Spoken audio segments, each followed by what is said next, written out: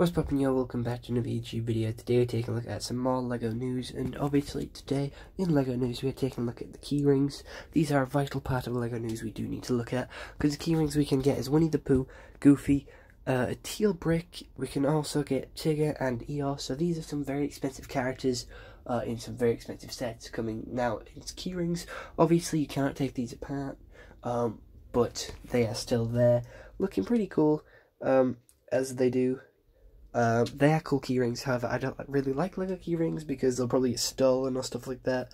Uh, so other than that, I hope you enjoyed. See you all next one. Have a nice day and goodbye. Stay home and stay safe.